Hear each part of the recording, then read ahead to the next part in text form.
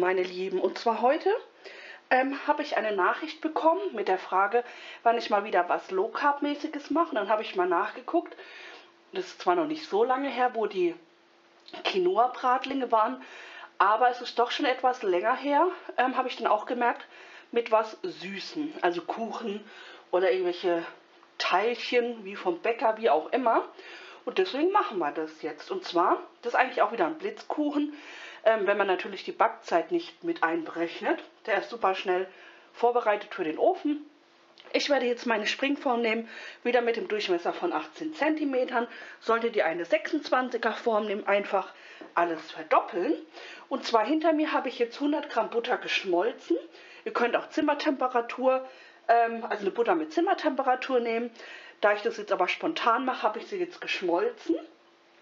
Hier drin haben wir 75 Gramm Xylit, also Zucker Premium ist es ja, wenn ihr, ähm, ich selbst kurz überlegen, wenn ihr Zucker Light nehmen solltet, dann kann es sein, dass ihr ein bisschen mehr braucht, weil Xylit ist ja so, dass, ähm, dass man da genau die Menge nimmt, die man auch an normalen industriellen Zucker nehmen würde. Und bei Zucker ist es ja so, also Zucker Light, ist es ja so, dass der nur 70% süß im Vergleich zu normalen Zucker. Das müsst ihr einfach selber dann abschmecken. Äh, manche mögen es ja auch nicht so süß und ja, genau. Dann haben wir hier drin noch zwei Eier.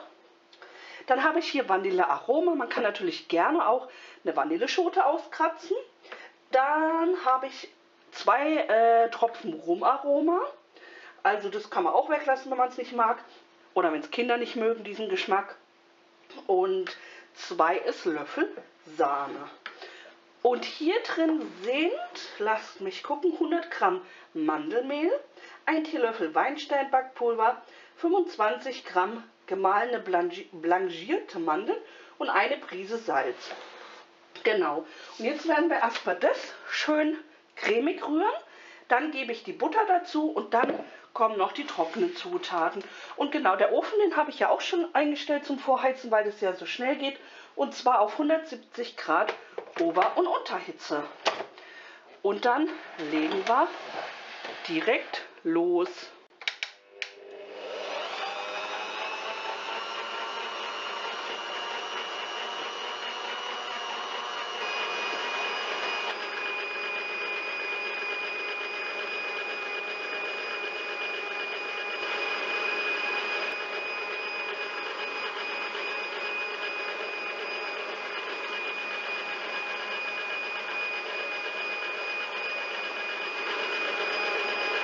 So, und das war es auch schon.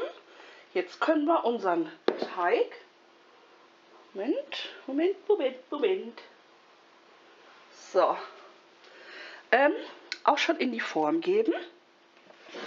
Das Ganze glatt streichen und dann geht es auch schon ab in den Ofen.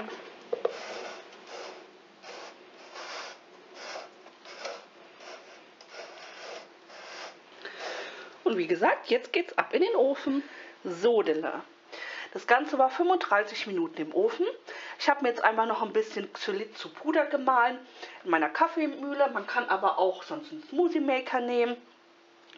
Was ich schon mal sagen kann, er riecht fantastisch, fantastisch, fantastisch und er ist total soft. Das kann ich schon mal sagen.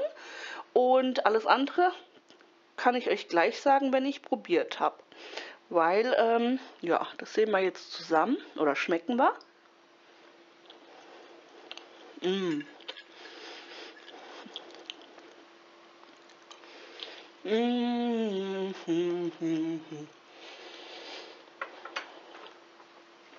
Schmeckt mega.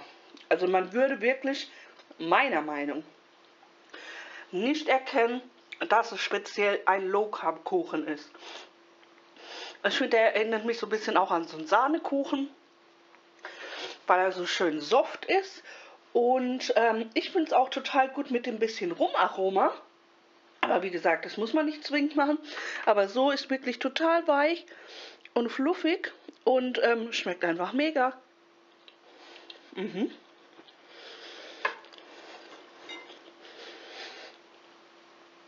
Und deswegen sage ich einfach nur, macht's nach, lasst es euch schmecken und ich hoffe, wir sehen uns wieder beim nächsten Mal. Tschüss!